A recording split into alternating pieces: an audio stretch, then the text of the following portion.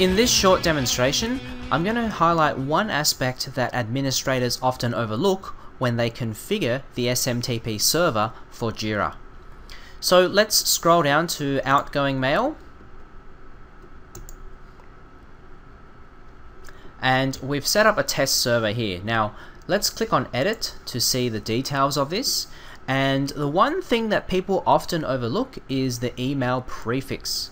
The email prefix is the text that is going to be prepended to all of your outgoing email subjects.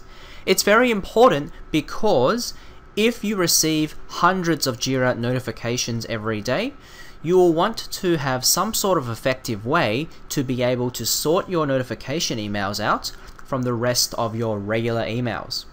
So for example, if I know that every Jira notification is going to have the word Jira inside the square brackets, I could perhaps set up a filter on my email client so that I can filter all those emails with that particular subject prefix and move those emails into a separate folder.